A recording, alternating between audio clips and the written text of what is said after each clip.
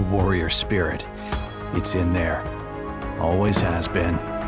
Now let it out and take the world by fire.